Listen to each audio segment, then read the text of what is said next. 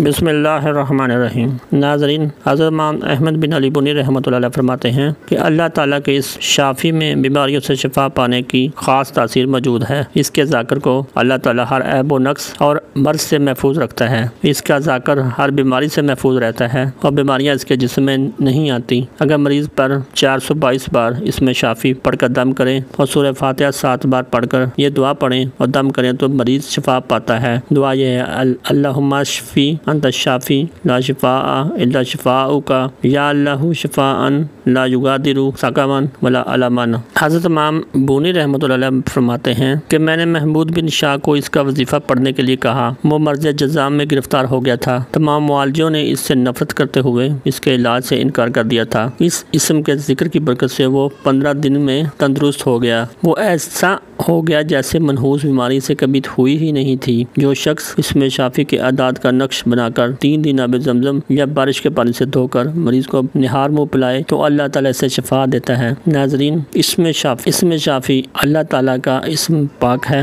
इस इसम की बरकत से बीमारी से शफा हासिल होती है। किसी भी तरह की लाइलाज बीमारी हो, इस इसम को मुस्कर मजाजी के साथ पढ़ने से जिसम से हर तरह की बीमारी निकल जाती है। अहमद बिन अली बोनी ने एक बहुत ही मुस्ंद प्यारा वाक़ यहाँ पे लिखा है कि किस तरह मर्ज जजाम महबूद बिन शाह के जिस्म से निकल गई, जो कि हुक्म हजरात ने लाइलाज करार दे दी, दिया था। वो कोई भी हकीम उसके इलाज करने को तैयार नहीं था। इमाम अहमद बिन अली बोनी रहमत को इस कदर यकीन था को आपने ये वजीफ़ा पढ़ने के लिए दिया, इसमें शाफी का वजीफ़ा पढ़ने के लिए उसको दिया। और पंद्रह दिन के अंदर वो लाइलाज बीमारी ख़त्म हो गई, और ऐसी ख़त्म हुई जैसे थी ही नहीं। तो यकीन का अमल होना लाजमी है। यकीन ये इसम बीमारियों से शफा पाने के लिए बहुत ही अक्सीद है और इस सिस्टम का ये बहुत बड़ा फ़ायदा है कि अगर कोई बीमार नहीं भी, किसी को नहीं भी बीमारी लगी हुई तो इसकी मदामत से कभी बीमार नहीं होगा, कभी कोई बीमारी उसको नहीं लगेगी। अल्लाह पाक से दुआ है कि अल्लाह पाक मुझे भी और आपको भी इस इसम की बरकत अता फरमाए। आमीन।